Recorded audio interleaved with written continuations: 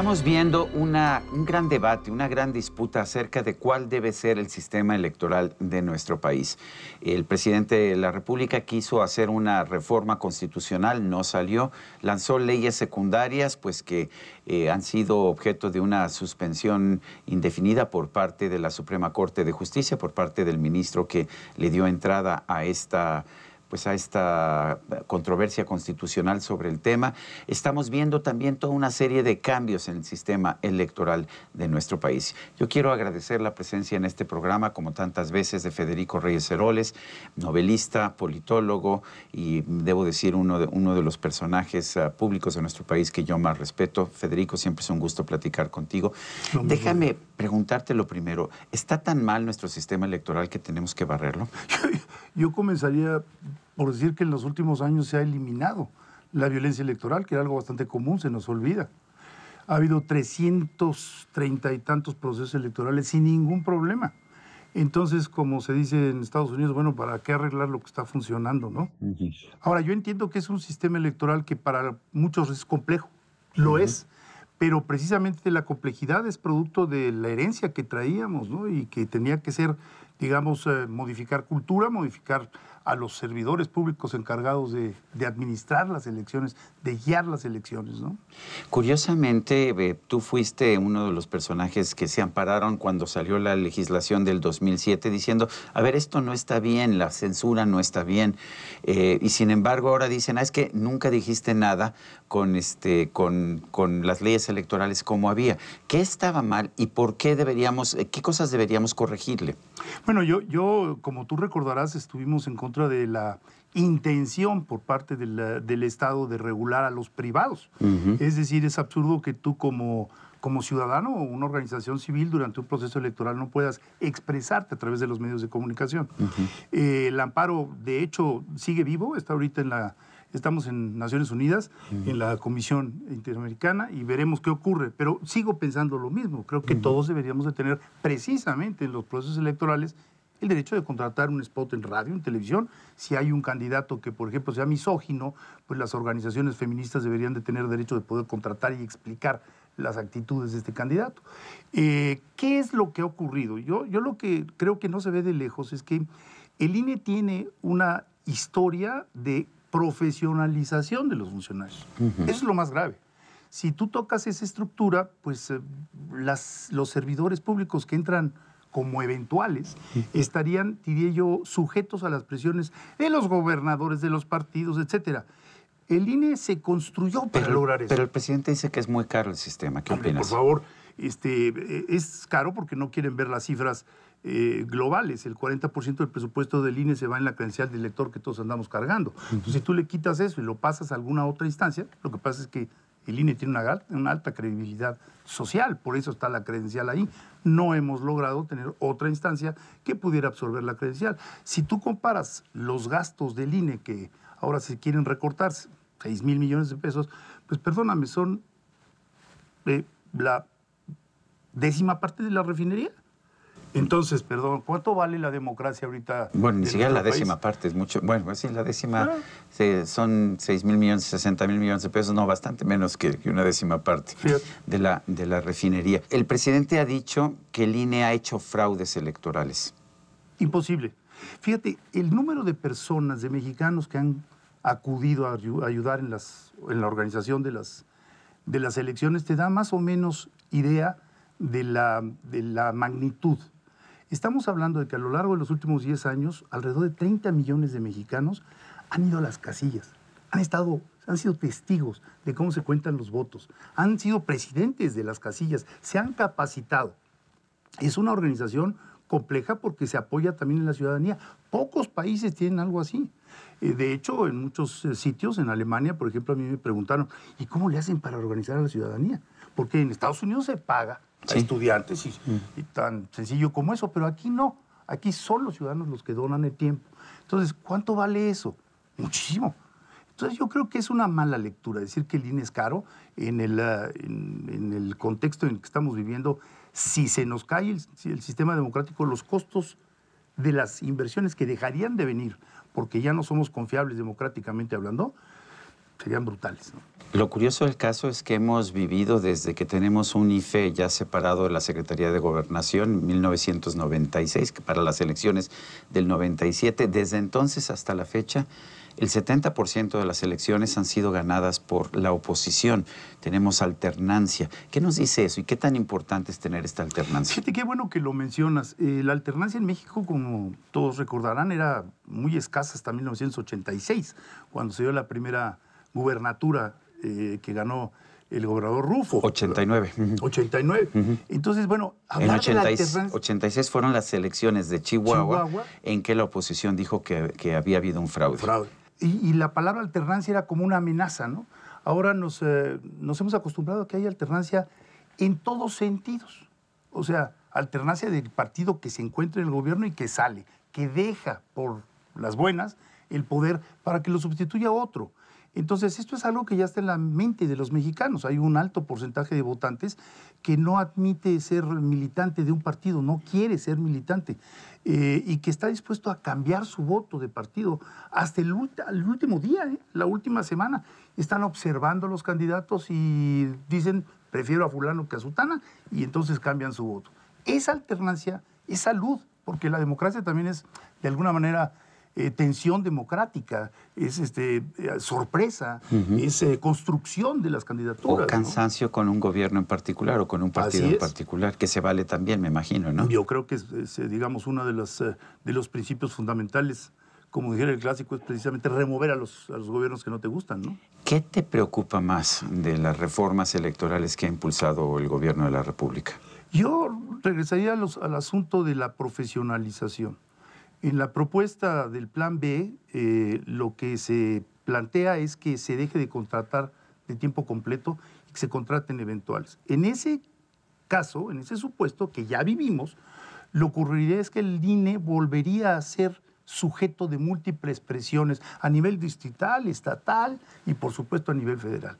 Eh, yo creo que afectar el corazón del servicio profesional es muy grave. ¿Por qué? Porque hay servidores públicos que llevan 30 años trabajando en el INE y le han apostado al INE, no a un partido o al otro, al servicio profesional de administrar las elecciones con seriedad y con, diría yo, eh, apegados a la ley, ¿no? Vimos a un presidente que le mostraba mucho afecto y respeto al expresidente de la Suprema Corte de Justicia de la Nación. De hecho, buscó a través de una reforma que se pudiera quedar como presidente todo el resto de, eh, por lo menos de este sexenio, que se pudiera quedar como presidente de la Corte hasta 2024. El mismo presidente Arturo Saldívar votó en contra a propósito, a propósito de ese tema. Pero ahora vemos una pues una serie de descalificaciones cada vez más comunes a la ministra Norma Piña, que es la presidenta de la Suprema Corte, también al ministro Javier Laines, por ejemplo, que otorgó la suspensión en el caso de la reforma electoral del famoso Plan B. Eh, ¿Cómo ves qué tan peligroso puede ser que pues que desde las mañaneras se descalifique a los integrantes de la Suprema Corte? A mí me parece que es una enorme irresponsabilidad generar un ambiente de violencia. Lo que ocurrió con la imagen de la ministra Piña el día del 18 de marzo es muy grave, porque de alguna manera es el resultado de una serie de incitaciones y descalificaciones personales y al conjunto de ministros. Lo que ¿eh? dicen es que también la oposición ha quemado efigies del presidente López Obrador en muchas ocasiones y todo, pero es distinto cuando cuando los ataques vienen del gobierno? En primer lugar, no me queda claro cuándo, porque se dijo que en la última marcha ciudadana había habido esto. No, hay ningún no, En la última marcha no, pero sí ha habido eh, ocasiones. Ah. y ha habido además, pues, gente de la oposición que dice es que hay que quemarlos en leña verde o cosas así. Eso, eso no es argumento en defensa de lo que ocurrió el 18. Es decir, tú no puedes decir, como a mí me quemaron, pues ahora quemen a la otra. Me explico, ese no es un argumento ético válido frente a la sociedad. Por un lado. Por el otro lado, no solo fue eso, también fue el hecho de que las flores que depositaron los ciudadanos frente a la Suprema Corte fueron pisoteadas. Y después hubo agresiones, una mujer que se presentó con una metralleta eh, de, plástico, pero, al fin y al cabo era otra amenaza. Parece que es muy grave ese ambiente. Y por el otro lado, el presidente parece no recordar que se trata de un poder independiente, que merece el respeto total y el propio, la propia Corte ha sido muy clara en el sentido de que conforme tienes más responsabilidad pública, más debes de cuidar las palabras que utilizas. Si no es lo mismo que un presidente municipal diga alguna tontería que agredir a un ministro en redes sociales, este, me explico, eso es muy grave. Dicho por la propia Corte. Entonces, este, eh, me parece que debemos todos estar muy alertas y cero tolerancia a las incitaciones a violencia. Lo cual, cuando hablas de tolerancia, déjame hacerte la pregunta, ¿dónde abandonamos nuestra tolerancia? Porque cada vez vemos un discurso más intolerante y yo creo que de, todos, de todos lados, vemos insultos al presidente en redes sociales que tampoco me parecen aceptables. ¿Dónde abandonamos nuestra tolerancia? A ver, yo, te, yo recordaría a un gran liberal que tú conoces muy bien, a Norberto Bobbio, ah, claro, que decía, la única intolerancia válida es contra los intolerantes. Entonces, bueno, ese es el límite, ¿no? Cuando el consejero presidente Lorenzo Córdoba tuvo hace poco que poner en orden al representante de Morena en el Consejo General, eh, pudiera ser calificado como de intolerante, pero es que él estaba siendo intolerante con los demás y estaba insultando a los demás miembros del Consejo. Entonces, eh, ¿dónde comienza la, tolerancia o dónde termina la, la tolerancia en el momento en donde la agresión es producto de la intolerancia?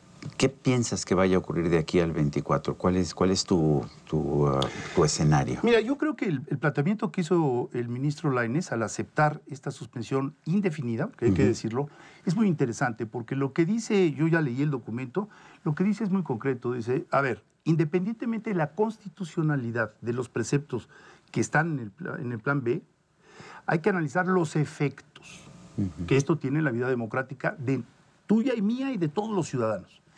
Si tú dices que vas a garantizar la vida política y en libertad de los ciudadanos mexicanos, tienes que hacerlo invirtiendo recursos, garantizando estabilidad, etcétera, etcétera. Es como si tú dices derecho a la salud y no pones hospitales. Entonces yo creo que en efectos puede la Corte eh, mantener la suspensión y acercarse al tiempo en el cual ya no va a ser posible modificar la ley electoral. Y que entonces nos sigamos con las mismas reglas del juego, que sería, en mi opinión, lo más deseable. Eh, lo que dice el gobierno de la República es que el, el, ministro Laines no debió haber otorgado una suspensión porque la, no puede haber una controversia constitucional en materia electoral. ¿Qué opinas de eso? Ese es un punto a discutir. El del artículo 105 de la 105 Constitución. de la Constitución. Me parece que es muy interesante. Sin embargo, ya ha habido varios pronunciamientos de la Corte en donde ha habido suspensiones por efectos. Entonces, creo que estamos hablando, eh, le estamos dando vuelta a la noria, ¿no? Eh, si vemos cuáles serían los efectos de correr el 80% del personal del Instituto Federal Nacional Electoral, y lo imaginamos en que no se puedan poner las casillas en los sitios adecuados porque no conoces el territorio. Eh, recordemos que al fin y al cabo el INE es la, los, son los topógrafos del país más, la topografía más viva es la que tiene el INE. Pensemos que, por ejemplo, no se entreguen actas ese día en la noche, mm. que no tengas las 72 horas necesarias para el reconteo y la vigilancia de los distritos donde puede haber conflictos. Pensemos en las comunidades que están divididas, en donde tienes que poner varias casillas en distintas entidades. Ese mapa solo lo tiene el INE. Entonces, eh, yo creo que es muy preocupante que desarmemos lo que está funcionando sin tener claro qué es lo que podría suplirlo. Tú vienes de, de, pelear durante muchos años por la democracia y voy más allá. Tu padre hizo pues la primera de esta serie de reformas que abrieron a nuestro país, tu padre, don Jesús Reyes Ceroles, eh, hizo en 1977, la reforma que entre otras cosas legalizó al Partido Comunista, del cual surgió el PRD, del cual surgió el movimiento de la izquierda.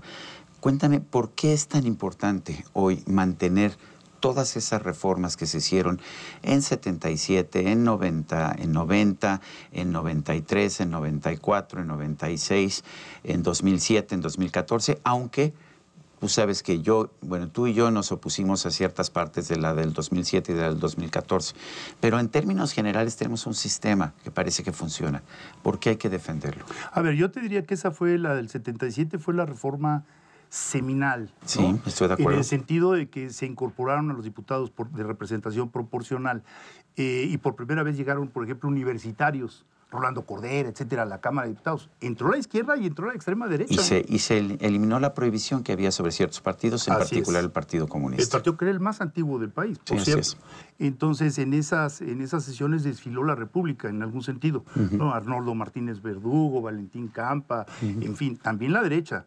Rodríguez Goyás, el partido del, del, sinarquismo original. Eh, partido Demócrata Mexicano, se llamaba. PDM, muy localizado en el Bajío. Y, ahí empezó la evolución y la discusión. Fíjate qué interesante. Las seis reformas políticas que ha habido en nuestro país importantes, todas han sido aprobadas por consenso.